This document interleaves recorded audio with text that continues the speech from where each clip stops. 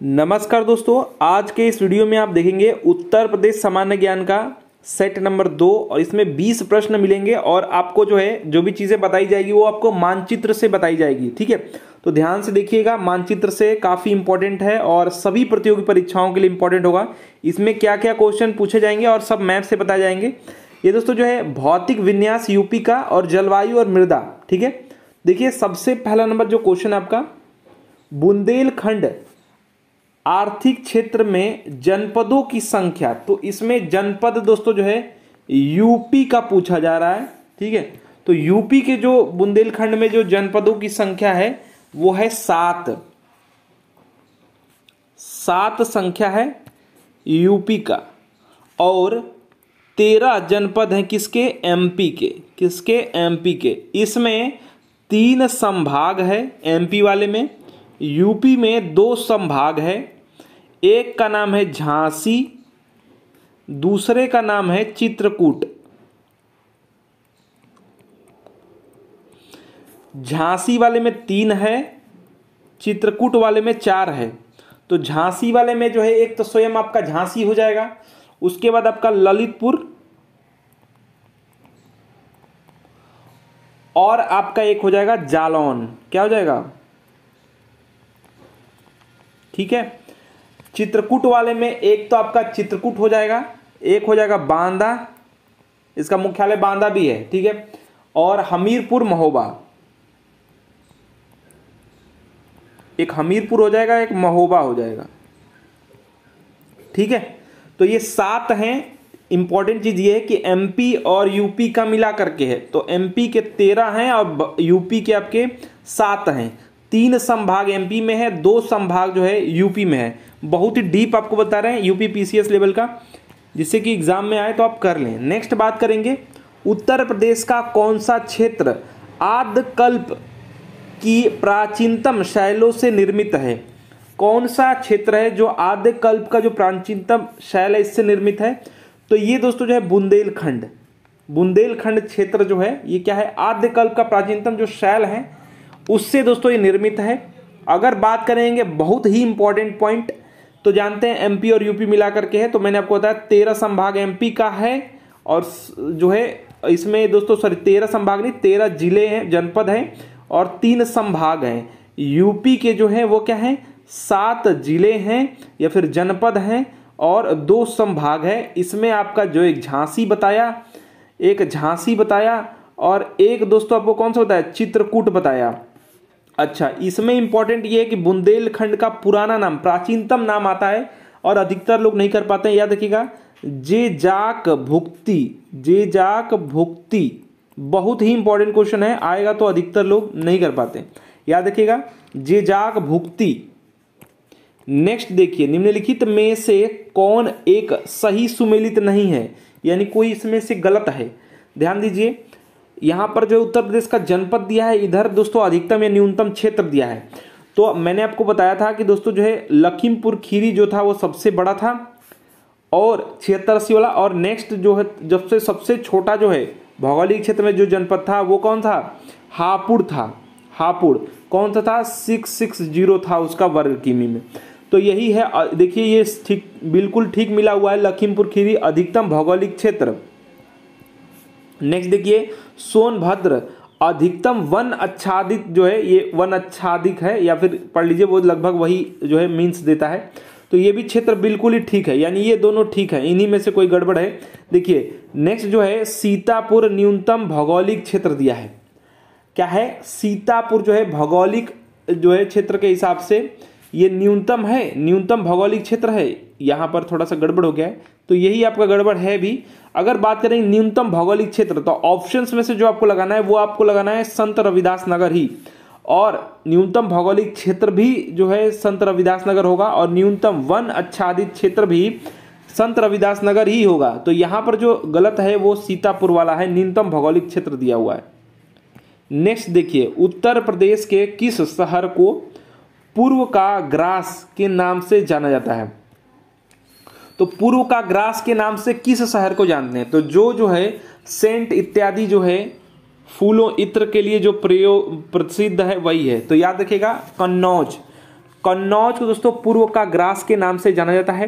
ये दोस्तों, एक प्राचीन जो है, हिंदू साम्राज्य की राजधानी के रूप में प्रतिष्ठित रहा है। कौन? कन्नौज।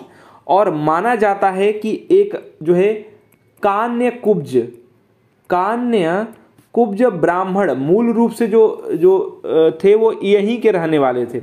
और सम्राट हर्षवर्धन के शासनकाल में जो कन्नौज था, वो सबसे अपने उच्चतम अवस्था पे था। या कहिए चरमोत्कर पिता था ये। और वर्तमान में बात करें तो जो गुलाब जल हो गया, जब भी आएगा ये सब चीज़ तो आपको कन्नौज मारना है। एक तो गुलाब जल आ जाएगा इत्र आ जाएगा ठीक है, और भी कोई सुगंधित पदार्थ आ जाएगा तो आपको कन्नौज याद रखिएगा, ठीक है। अगर बात करेंगे वर्तमान में दोस्तों जो है ये इत्र के व्यवसाय के लिए, तंबाकू के व्यापार के लिए ये जो है, क्या है, मशहूर है कन्नौज। कन्नौजी भाषा वहाँ बोला जाता है। नेक्स्ट बात करेंगे, कन्नौजी कुछ नहीं है, अवधि, कन्नौजी, ये सब भोजपुरी से मिलते जुलते हैं, भोजपुरी की तरह ही है। नेक्स्ट बात करेंगे, उत्तर प्रदेश का निम्नलिखित में से कौन सा जिला बुंदेलखंड का जो है, बुंदेलखंड क्षेत्र का हिस्सा है? तो बुंदेलखंड क्षेत्र के जो हिस्से हैं, इनमें से चंदौली, अगर आप मैप देखें, मैप पे आ जाते हैं। देखिए, बुंदेलखंड में आपको मैंने बताया कि जो है, दो संभाग हैं। एक तो ये आपका झांसी है, ठीक है, एक आपका ये चित्रकूट है। अब चित्रकूट में देखिए मतलब यहाँ पर जो पूछा गया था कि कितने जो है कौन कौन से ज़िले हैं कभी कभी पूछता है कौन से ज़िले नहीं है। तो ये आपका यूपी है, यूपी को अगर आप देखते हैं ध्यान से तो ये कैसा है? ये लगभग अगर देखें तो ये हाथी की सूढ़ हो गई जो सहारनपुर है। सौ से सूढ़ है, सौ से सहारनपुर है। ठीक है? उसके बाद आपका शामली है सूढ़ के जस्ट नीचे। यहाँ पर देखेंगे हिमाचल प्रदेश है, यहाँ आपका हरियाणा है, दिल्ली है, हरियाणा का क्षेत्र है, फिर राजस्थान है। ये आपका एमपी का जो है, सबसे आप देखिए तो इधर से लेकर के यहाँ तक जो है, क्या है? ये एमपी से जुड़ा हुआ है। अच्छा बुंदेलखंड जो क्षेत्र की बात आती है, बार बार क्वेश्चन पूछा जाता है तो यहाँ चित्रकूट से लेकर के, ठीक है? एक संभाग चित्रकूट है और एक जो है आपका झांसी है। तो झांसी में जो है वो झांसी है, जालौन और ललितपुर है। यानी तीन ये हैं ज़िले। और उसके बाद चित्रकूट में चार हैं। एक तो चित्रकूट है, एक बांदा है, हमीरपुर है, महोबा है। तो चार ये, तीन और चार, यानी दो संभाग हैं। तो तीन और चार एक सात हो जाएगा। तो सात आपके हैं। अब इससे जो भी क्वेश्चन पूछेगा, उसको हम कर लेंगे आसानी से। ठीक है तो चलिए क्वेश्चन की तरफ़ चलते हैं। तो क्वेश्चन हमारा ये रहा। क्वेश्चन में पूछा गया था, उत्तर प्रदेश का निम्नलिखित में से कौन सा जिला बुंदेलखंड का हिस्सा है? ये पूछा गया है। तो देखिए, जो है आपका महोबा जो है, वो आपका जो है हिस्सा है। अगर बात करेंगे चंदौली तो वो इधर आ जाता है, नीचे। ये बिहार के साथ जो ऐसे आपके जो बनते हैं ना, गाजीपुर, चंदौली, बलिया, इधर, जो टांग के पास मतलब इधर जो सोनभद्र है, बना दे रहे हैं लगभग लगभग मिलता जुलता एकदम बनाने तो नहीं आता है। लेकिन लगभग लगभग आपका हाथी का ऐसे सूर जैसा जो है, ये यहाँ से आपका लगभग ऐसे ललितपुर घूम करके यहाँ से ऐसे लटका हुआ जैसे ललितपुर है और ऐसे आपका सूर्ण की तरह यहाँ पर सहारनपुर मान लीजिए, ऐसे लगभग में ऐसे आपका है। तो इधर जो है, ये बात हो रही है आपकी चंदौली की। तो ये तो होगा नहीं, औरैया होगा ही नहीं, एटा होगा ही नहीं। तो मैंने आपको बताया कि एमपी और यूपी का जो है तो इसमें महोबा आपका राइट आंसर हो जाएगा सी आपका राइट आंसर हो जाएगा। नेक्स्ट बात करेंगे। यहाँ पर नेक्स्ट जो है सुमेलित कीजिए। क्या सुमेलित करना है? यहाँ पर दिया है आपका पर्वत। क्या दिया है? न, नंगा पर्वत है नंदा देवी कंचनजंगा और आपके राज्य दिए हैं जम्मू कश्मीर सिक्किम और उत्तराखंड। देखिए अगर ट्रिक भी आपको याद करना है तो ट्रिक से याद कर लीजिएगा। नंगा पर्वत जो है इसको याद रखिएगा जो लोग तपस्या वपस्या करते हैं, पहाड़ पे जाते हैं। तो पहाड़ पे जाएँगे तो कम कपड़े पहनते भी हैं तो नंगा पर्वत आपका जम्मू कश्मीर हो जाएगा। ठीक है? और नंदा देवी जो है, ये कहाँ है? उत्तराखंड में है और कंचनजंगा जो है, सिक्किम में है। तो बहुत ही आसान है, यानी कि जो राइट आंसर होगा, वो ए का जो होना चाहिए, वो एक ही होना चाहिए। ए का एक देखेंगे, ये दोनों ऑप्शन में है, ये दोनों कट गया। नंदा देवी यानी बी का जो होना चाहिए, तीन होना चाहिए। तो बी का तीन यानी ऑप्शन में बी राइट आंसर हो जाएगा और कंचनजंगा का आपका सिक्किम यानी बिल्कुल ऑप्शन नंबर बी आपका राइट आंसर हो जाएगा। नेक्स्ट देख लीजिए, किस शहर को अभी तक राष्ट्रीय राजधानी क्षेत्र यानी एनसीआर की बात हो रही है? में सम्मिलित नहीं किया गया है। तो मैंने आपको बात बताया तो यहाँ पर जिंद देखिए है। कौन नहीं किया गया ये बताया जा रहा है। तो इसमें से जो अलीगढ़ है दोस्तों, इसको जो है सम्मिलित नहीं किया गया है। तो सी इसका राइट आंसर हो जाएगा। वैसे कुछ सुन लीजिए क्या क्या चीज़ें हैं। तो यहाँ पर जो राष्ट्रीय राजधानी क्षेत्र है, इसमें दोस्तों जो है अगर बात किया जाए यूपी के तो यूपी के दोस्तों जो है आठ ज़िले हैं। इसमें आप नाम यहाँ पर आठ लिख दे रहा हूँ। नाम आप लिख लीजिए। एक आपका है गाजियाबाद। क्या है? गाजियाबाद है। ठीक है, उसके बाद गौतम बुद्ध नगर है। क्या है? गौतम बुद्ध नगर है। उसके बाद बुलंद शहर है। बुलंद शहर है। उसके बाद आपका मेरठ है। मेरठ है, बागपत है और हापुड़ है। अभी मैं लेके आऊँगा मैप तो उसमें आप देखेंगे। मुजफ्फरनगर और शामली है। कौन सा? एक तो मुजफ्फरनगर है और शामली है। ये जो है, ये आपके एक, दो, तीन, चार चार चार आपके आठ, यानी आठ जो है यूपी के हैं। ठीक है? हरियाणा के भी कुछ हैं। हरियाणा के जिसमें आपका जिंद करनाल, ठीक है? उसमें, उसके बाद आप जो है, फरीदाबाद, गुड़गांव, मेवात, जो है, रोहतक, सोनीपत, रेवाड़ी, झज्जर, पानीपत, पलवल और महेंद्रनगर, भिवानी, जींद, करनाल, ये सब है। राजस्थान के भरतपुर और अलवर है। तो ये सब हैं। तो अगर यूपी में देखेंगे आठ में से, यूपी से क्वेश्चन है ये तो अलीगढ़ जो है, नहीं है। तो वही पूछा गया था कौन सा नहीं है सी इसका राइट आंसर हो जाएगा। मैप आपको दिखा दे रहा हूँ किधर की बात हो रही है ये।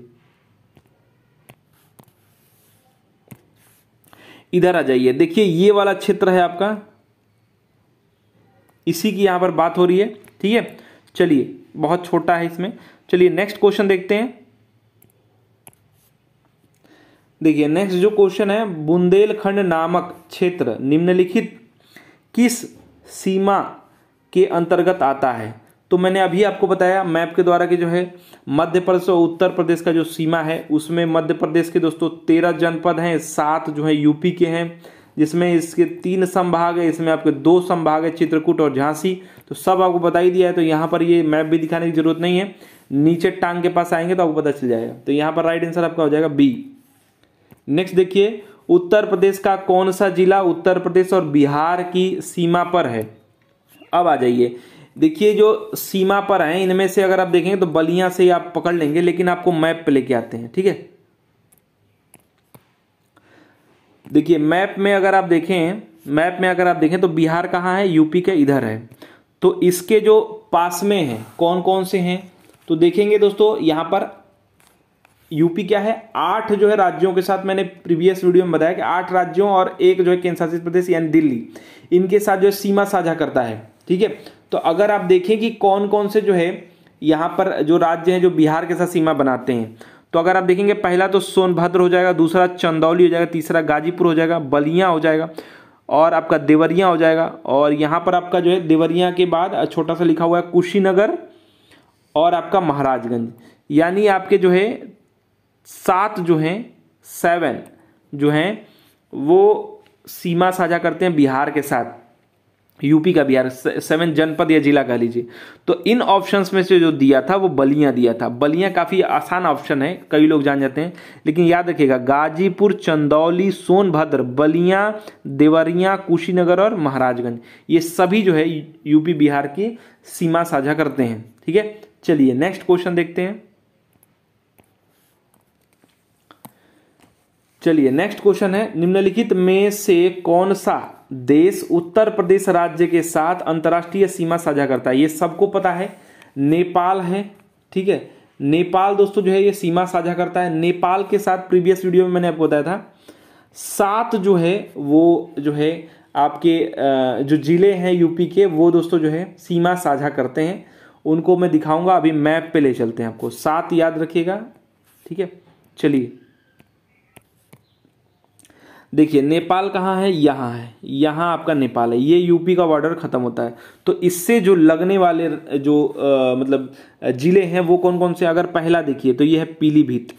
दूसरा जो है खीरी या फिर कहीं लखीमपुर खीरी ठीक है? उसके बाद आपका क्या है? बहराइच। क्या है? बहराइच। फिर क्या है? श्रावस्ती ठीक है? क्या है? श्रावस्ती। फिर आपका है बलरामपुर। फिर क्या है? सिद्धार्थनगर। फिर आपका सिद्धार्थनगर। और फिर इधर आपका क्या है? महाराजगंज। महाराजगंज का याद रखिएगा, ये बिहार के साथ, ये तो राज्य है, और इधर जो है, नेपाल के साथ। ठीक है? सीमा साझा कर रहा है। ठीक है? तो ये दोस्तों जो है, सात हैं। कौन कौन से? पीलीभीत, लखीमपुर खीरी, बहराइच श्रावस्ती बलरामपुर, सिद्धार्थनगर और महाराजगंज। तो दे देगा इसमें से कि कौन सा नहीं है। तो एक इन, इनको छोड़ करके कोई और जो है, सात मतलब तीन ऑप्शन में से और एक ऑप्शन हटा देगा। तो इन सातों का आप याद रखिएगा। मैप पे इसलिए लेके आते हैं कि कहाँ टच है, ये तो आपको पता रहना चाहिए। बार बार देखेंगे बार बार देखेंगे वीडियो याद हो जाएगा। चलिए नेक्स्ट क्वेश्चन देखते हैं।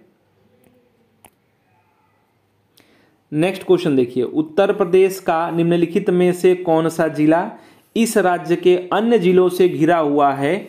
मतलब ये क्वेश्चन पूछने का मतलब भी बता दिया। यानी किसी भी अन्य राज्य, ठीक है? देश के साथ सीमा साझा नहीं करता है। अब ध्यान से सुनिएगा। मतलब बात ये हो रही है कि कौन सा इनमें से जिला है? ठीक है, ये सभी क्वेश्चन लोअर में कहीं कहीं पूछे गए। लोअर में पूछा गया था 2019 में यूपी पीसीएस लोअर में। तो दोस्तों देखिए, कौन सा ऐसा जिला है जो क्या कर रहा है? यूपी के ही जिलों से घिरा हुआ है। न किसी देश के साथ सीमा साझा करना चाहिए और न ही किसी राज्य के साथ। तो आ जाइए अगर हम आपको याद होगा तो सहारनपुर है सूढ़ के पास, सौ से सहारनपुर और सौ से है सूण। वो है हरियाणा के पास, ठीक है? तो यानी कि वो तो होगा नहीं। दूसरी, देवरिया। अभी मैंने बताया कि देवरिया बिहार के साथ सीमा साझा कर देता है। तो ये भी नहीं होगा। ललितपुर, अगर आपको ललितपुर याद है तो नीचे जो मध्य प्रदेश में टांग जो था, एक बार लेके चलते हैं आपको। और हरदोई है लखनऊ के पास तो लेके चलते हैं आपको मैप के पास। ठीक है हरदोई इसका राइट आंसर होगा वैसे। चलिए आपको दिखा देते हैं। देखिए, पहले बात हुई थी किसकी? सहारनपुर की। तो ये देखिए, हिमाचल प्रदेश और हरियाणा के पास है। तो ये तो होगा नहीं। दूसरी बात हुई थी ललितपुर। ललितपुर देखिए एमपी का। यही तो क्षेत्र है। ये अभी मैंने बात किया, सात जो हैं जो ज़िले हैं, उन्हीं के अंतर्गत तो आ रहा मध्य प्रदेश के साथ आ रहा है। दूसरा बात किया था यहाँ पर, जो है देवरिया। ये बिहार के साथ सीमा कर रहा था। अब बचा कौन? बचा हरदोई ये आपके लखनऊ के पास, उन्नाव के पास। ठीक है तो इसी में घिरा हुआ है ये। किसी राज्य या फिर देश के साथ सीमा साझा नहीं करता है। तो यही इसका राइट आंसर हो जाएगा। ठीक है तो चलिए क्वेश्चन के पास। तो देखिए, इसका राइट आंसर क्या हो जाएगा? हरदोई सी। चलिए नेक्स्ट क्वेश्चन नेक्स्ट है, उत्तर प्रदेश का निम्न में, निम्न। उत्तर प्रदेश का निम्न इनमें से मतलब निम्नलिखित में से, कौन से ज़िले की सीमा मध्य प्रदेश के साथ साझा नहीं करती है? मैंने आपको बताया, सात, पहले तो वो वाला आप याद रखिए, बुंदेलखंड वाला। कौन सा जिला है जो किसके साथ साझा नहीं करता है? मध्य प्रदेश के साथ। तो इनमें से कोई होगा जो मध्य प्रदेश के साथ सीमा साझा नहीं करता है? तो पहले आपको पता होना चाहिए कि कौन कौन जो है कहाँ कहाँ पर है। तो अलीगढ़ जो है, ये अलग ही डायरेक्शन में है। ये आपका जो है हरियाणा के पास अगर मैप देखेंगे तो उधर है। तो अगर बात करेंगे तो ये हमको सीधे सीधे पता चल जाए, यही राइट आंसर होगा। लेकिन फिर भी हम आ जाते हैं मध्य प्रदेश के सीमा साझा करने वाले राज्यों के पास। तो मैप पे चलते हैं। याद कैसे होगा? ये याद होगा बार बार बार बार देखने से। देखिए, यहाँ पर अगर बात की जाए तो मध्य प्रदेश है। ये यहाँ से आपको पूरा मध्य प्रदेश ये सीमा साझा करता है। तो इसमें जो ऑप्शंस दिए थे, एक तो मिर्ज़ापुर दिया था, प्रयागराज दिया था, जिसको आप इलाहाबाद कहते हैं, ठीक है? और अलीगढ़ देखिए, अलग ही डायरेक्शन में है। अलीगढ़ जो है, इधर है। तो एमपी जब इधर ही है तो अलीगढ़ ऑप्शन में कहाँ हो जाएगा? साम, वही राइट आंसर इसका हो जाएगा, ठीक है? एक शायद ऑप्शन यहाँ पर छूट गया था, इटावा यहाँ पर, ठीक है? तो ये इटावा देखिए, ये भी साझा कर रहा है एमपी के साथ, ठीक है? तो वहाँ पर अलीगढ़ हो जाएगा, जो कि आपके हरियाणा से पास में है, ठीक है? या फिर कहिए कि साम, सीमा साझा कर रहा है, ठीक है? चलिए नेक्स्ट देखिए। अलीगढ़ किसके लिए फ़ेमस है? कई लोग को पता होगा तो कमेंट बॉक्स में बताएँगे, तालों के लिए। नेक्स्ट बात करेंगे, उत्तर प्रदेश की भौगोलिक सीमा सर्वाधिक राज्यों को स्पर्श करती है। मतलब सबसे ज़्यादा राज्यों को छूती है। निम्नलिखित में से कौन सा राज्य इनमें शामिल नहीं है? मतलब कौन सा इनमें से राज्य है जो शामिल नहीं है? तो अगर आप यूपी में देखेंगे तो एमपी, झारखंड हो गया मतलब एमपी हो गया, झारखंड हो गया, उत्तराखंड हो गया। तो यहाँ पर दोस्तों जो है, उड़ीसा जो राज्य है, उसके साथ सीमा साझा नहीं करती है। फिर से बता दे रहा हूँ, यहाँ पर जो है, नौ कुल है, वैसे तो आठ है। आठ राज्यों के साथ सीमा साझा करती है और प्लस एक दिल्ली हो जाता है। यानी टोटल आपके नौ यहाँ पर राज्यों के साथ सीमा साझा करती है। और नाम कुछ इस प्रकार है। उत्तराखंड हो गया, मध्य प्रदेश हो गया, झारखंड। यानी तीन को हटा दीजिए एक आपका जो हिमाचल प्रदेश हो जाएगा, दिल्ली आपको हटा दिए हैं। हरियाणा हो जाएगा, क्या हो जाएगा? हरियाणा हो जाएगा, राजस्थान हो जाएगा, मध्य प्रदेश आपका हो ही गया। छत्तीसगढ़ हो जाएगा, ठीक है? और बिहार, झारखंड। तो झारखंड ऑप्शन में है ही बिहार। यानी तीन ये ऑप्शन में चार ये। तो ये इनके साथ दोस्तों ये सीमा सजा करते हैं तो उड़ीसा अलग ही ये हो जाएगा ना, ये ये तो आपका वेस्ट बंगाल की तरफ़ हो जाएगा मैप में, ठीक है? तो डी इसका रेड मतलब बी इसका रेड आंसर हो जाएगा, उड़ीसा। नेक्स्ट बात करेंगे। निम्न प्रकार प्रकारों की मिट्टी में से किस एक की बुंदेलखंड क्षेत्र में प्रमुखता है? इन मिट्टियों में से कौन सी मिट्टी है जो बुंदेलखंड में ज़्यादा पाई जाती है, प्रमुखता है? तो देखिए, हर प्रकार की मिट्टी अधिकतर जगह पे आपको मिल जाएगी, लेकिन ये मिट्टियों से अब क्वेश्चन आ गया, भौगोलिक क्षेत्र वाला खत्म हो गया। तो ये पूछा गया था यूपी पीसीएस जे में, ये आपका 2006 का क्वेश्चन है। तो दोस्तों, ये जो काली जो मिट्टी है, ये पाई जाती है बुंदेलखंड में अधिकतर मतलब प्रमुखता रूप से, मुख्यता रूप से, और इसको दो भागों में बांटा जाता है। काली मिट्टी को दोस्तों दो भाग में बांटते हैं, एक याद रखिएगा, काबर काबर मिट्टी और दूसरा मार मिट्टी। ठीक है? याद रखिएगा और जो पाई जाती है, वो आपकी जो है बुंदेलखंड में दो प्रकार की मिट्टी पाई जाती है। एक जो है काली और एक लाल मिट्टी। ठीक है? और जो लाल वाला होता है, इसको दोस्तों जो है राकर और इसको क्या क्या कहते हैं? इसको कहते हैं राकर। राकर मिट्टी भी कहते हैं और यरुआ मिट्टी भी कहते हैं। दो समूह में इसको विभक्त किया जाता है, राकर में और यरुआ। ठीक है, लाल वाली मिट्टी को। तो दोनों पाई जाती है। इनमें से काली कपास मिट्टी राइट आंसर होगा ऑप्शन के हिसाब से। ठीक है? लेकिन इसकी जो, इसमें अगर बात किया काली वाले में बात करेंगे, काली वाले में तो काबर जो मार है, इसमें दोस्तों जो है पानी को होल्ड करने की, या फिर कहिए पानी को धारण करने की, जल को धारण करने की शक्ति ज़्यादा होती है, उत्पादकता भी ज़्यादा होता है। लाल में दोस्तों जो है, इसमें कम होता है क्षमता और उत्पादकता भी कम होता है। ठीक है? और इसमें भू कटाव भी बहुत अधिक होता है। ठीक है? तो ये सब पॉइंट्स याद रखिएगा। नेक्स्ट बात करेंगे उत्तर प्रदेश में जो भाबर क्षेत्र है। अच्छा भाबर क्षेत्र क्या होता है? पहले समझ लीजिए। भाबर क्षेत्र में निम्नलिखित में से किस प्रकार की मिट्टी पाई जाती है? तो जो भाबर क्षेत्र है, ये इसका जो निर्माण होता है, जब नदियाँ क्या करती हैं? नदियाँ जब है ना ऊपर से नीचे आती हैं तो अपने द्वारा जो पत्थर होते हैं कुछ भी पहाड़ हो गए, इसको काटते हुए तो कंकड़ीली मिट्टी इसको कहते हैं। तो आपको ऑप्शन पता चल गया। ये किस प्रकार की मिट्टी पाई जाती है? तो कंकड़ीली या पथरीली इसको कहते हैं, ठीक है? तो भा, जो भाबर है, भाबर क्षेत्र, उसी को कहते हैं जो नदियाँ तोड़ फोड़ के पहाड़ का जब टुकड़ा उगड़ा या फिर कहिए पत्थर उत्थर जो जो भी चीज़ें हैं, कंकड़ीली मिट्टियाँ इसको कहते हैं, ठीक है? पथरीली और कंकड़ीली। बहुत बार एग्ज़ाम में पूछा गया है, भाबर कई लोग जानते भी नहीं क्या होता है। नेक्स्ट बात करेंगे, उत्तर प्रदेश में लाल मिट्टी मुख्यतः पाई जाती है। ये कहाँ पाई जाती है? उत्तर प्रदेश में। तो लाल मिट्टी पूछा जा रहा है तो मिर्ज़ापुर और झांसी का जो क्षेत्र है, मिर्ज़ापुर और झांसी का जो क्षेत्र है, उसमें दोस्तों पाई जाती है। लाल मिट्टी जो है, अधिकतम जो पाई जाती है, वो ऑप्शंस में से जो है, आपका मिर्ज़ापुर, झांसी हो जाएगा। लेकिन कुछ क्षेत्र हैं, जैसे प्रयागराज। प्रयागराज हो गया, झांसी हो गया। झांसी हो गया, मिर्ज़ापुर हो गया। जैसे ऑप्शन में मिर्ज़ापुर है झांसी है तो इसको लगा दिया। सोनभद्र हो गया और चंदौली। ये जो बिंद का क्षेत्र है, इसी में के दोस्तों में लगभग में आपको मिल जाएगा। चंदौली। तो यहाँ पर दोस्तों अधिकतम ये पाई जाती है, ठीक है? इसमें क्या होता है? ये चट्टानों के जो बिंद चट्टान है, इसके टूटने फूटने से बनते हैं। और इसमें दोस्तों जो कमी होती है, वो नाइट्रोजन, फास्फोरस और चूना ये दोस्तों जो जैव जो तत्व है, इसकी कमी है और लौह जो है अधिकता ज़्यादा होता है, इसीलिए लाल मिट्टी होता है। लौह ज़्यादा रहेगा। लाल मिट्टी में क्या रहेगा? लौह जो है प्लस में रहेगा। ठीक है। नेक्स्ट बात करेंगे, लवण प्रभावित मृदाएँ। मुख्यतः उत्तर प्रदेश के किन मंडलों में पाई जाती है? मंडल दोस्तों जो है वो आठ, अठारह है। याद रखिएगा उत्तर प्रदेश में। ठीक है? तो ये किन मंडलों में पाई जाती पूछा जा रहा है। लवण प्रभावित। तो ये पाई जाती है आगरा और अलीगढ़। तो अलीगढ़ में जो क्या बता है? ताला बनता है। तो ऐसे याद कर लिए ताला लोहे का ही बनाएँगे ना? ठीक है तो ये याद रखिएगा, आगरा और अलीगढ़ जो जगह है, यहाँ पर दोस्तों जो है, क्या होता है? बांगर मृदा वाला ये क्षेत्र है, अगर कहें तो। बांगर क्या होता है? बांगर दोस्तों जो होता है, वो मिट्टी खराब हो जाती है। यानी कि अगर बात करें तो ऊसर मिट्टी ज़्यादा हो जाती है।